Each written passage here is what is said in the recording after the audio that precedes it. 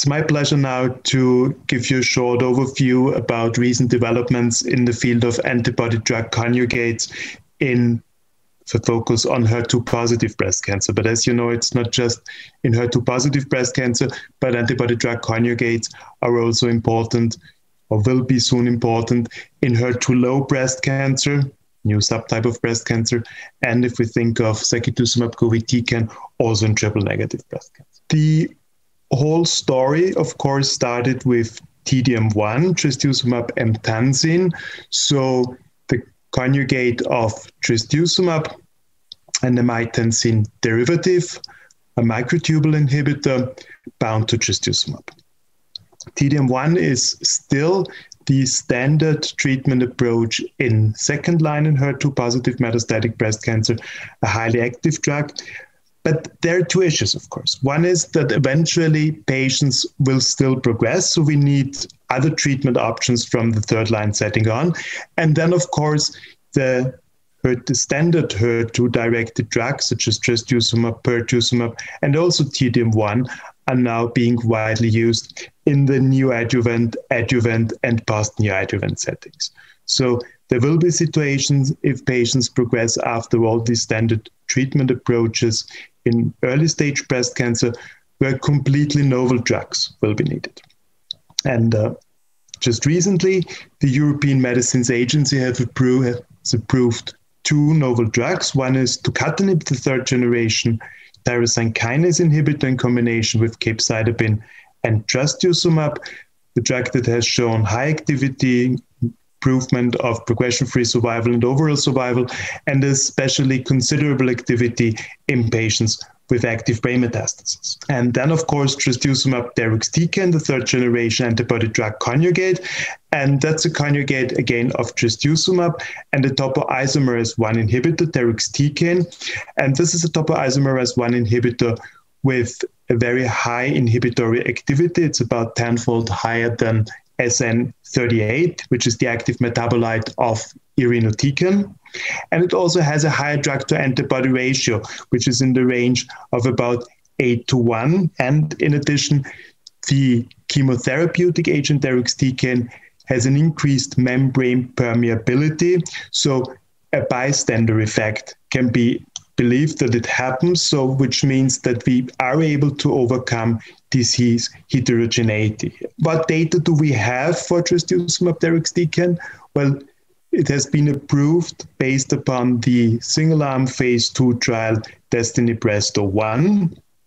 And uh, heavily pretreated patients that received a median of six prior treatment lines received single agent trastuzumab deruxtecan. And as you know, a very high response rate has been observed in excess of 60%.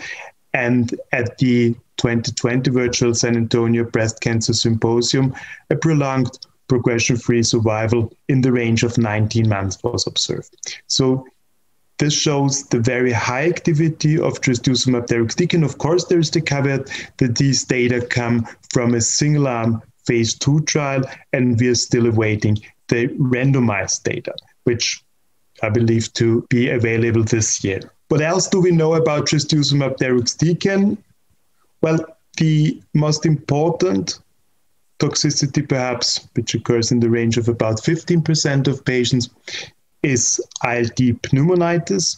This is something the physicians and the patients both need to be aware of, and the patients need to be properly informed. Often it's low grade, it usually happens relatively early on during the first six to 12 months of treatment, with a lower risk during the later treatment period important to react promptly to the diagnosis of, of ILD, interruption of treatment, permanent stop of trastuzumab deruxtecan if grade 2 or higher ILD occurs, and quick initiation of corticosteroids. So usually the, the issue of ILD is manageable with these measures. It's important to see that trastuzumab deruxtecan also has activity in a new subtype of breast cancer, a newly defined subtype of breast cancer, which we call the HER2 low expressing patients. HER2 low expression means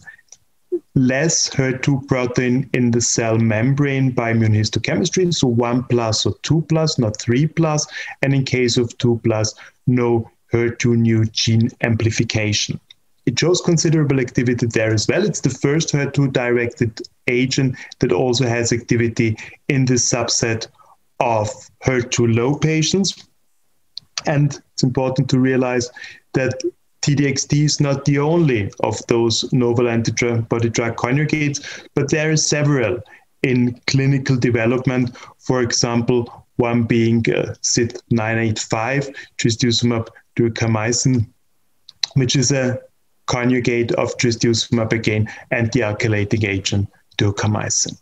When we look at different other breast cancer subtypes, such as uh, triple negative. There is also a great need for novel treatment options. Of course, immunotherapy has some activity there, but uh, the focus is also there on antibody drug conjugates. And perhaps the most promising drug is uh, sacituzumab govitecan, which was shown in the phase three ASCENT trial to provide significant high activity than conventional chemotherapy in pretreated patients with a clinically relevant and statistically significant prolongation of progression-free survival and overall survival as well. In summary, I think with better understanding of the antibody drug conjugate technology, uh, these class of drugs will see further use in the different breast cancer subtypes.